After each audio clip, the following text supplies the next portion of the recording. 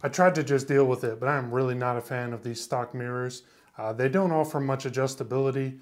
They come loose on me when I'm riding on the roads.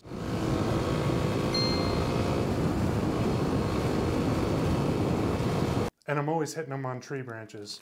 So I figure I'm gonna try out these double take mirrors. Um, they offer a lot more adjustability. So let me show you what you get.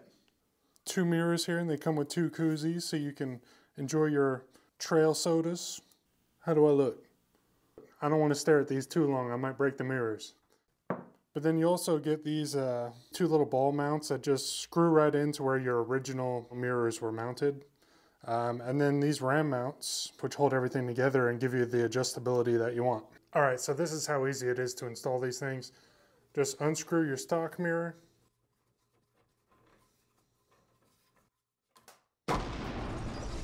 Screw this ball mount into there.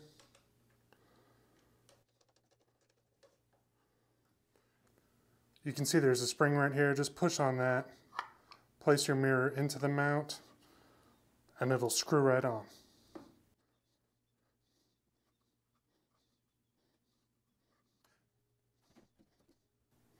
And the nice thing about these is you could literally put them at any angle you want. And I've used these mounts for action cameras before and they, they work really well, so I'm gonna assume this mirror is not going anywhere. I don't know if you're gonna really find a good looking mirror out here for these dual sports, but at least this one's more functional and I can see if someone's gonna hit me. I'm gonna go ahead and replace this other side too.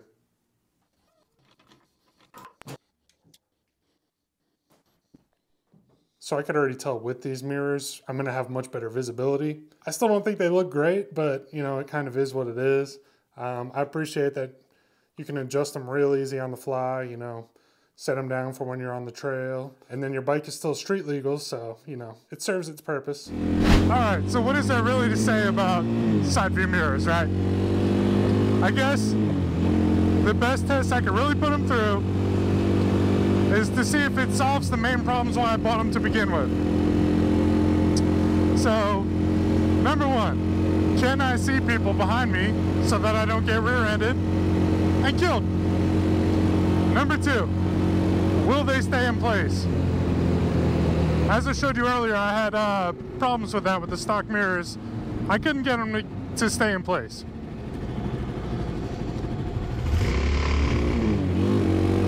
And number three, can I get them out of the way when I don't want them in the way?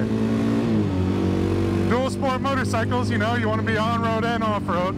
There's nothing worse than being off-road, getting your mirrors smacked up by all the tree limbs and everything. So first things first, obviously with the shape of these, you can see much more of the things that are behind you. So we'll just go ahead and say one passed. They're better than stock. I can see the people behind me. I know I'm not going to get hit at a stoplight. Um, you know, you got to watch your back. You got to be aware of your surroundings out here. Awesome little Volkswagen that just passed. Test two. We want to see if these mirrors are going to stay in place. like I said, I've used these mounts before for like action cameras, so you can even see it right here. I really have no doubt that these are going to stay in place when I get up to speed.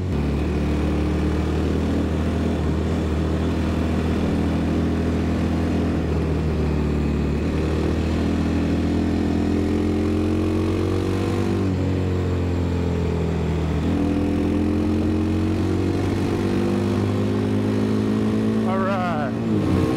We're going 65 here, and the mirrors So obviously these mirrors here are a huge upgrade from the stock ones. Um, you can see people behind you.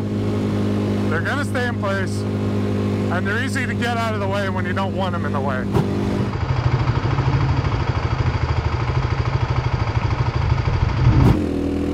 I still don't think they look the best. Like, I'm not a huge fan of the style of these mirrors, but they definitely get the job done. I'm gonna stick with these ones. They fixed the problems that I needed them to fix.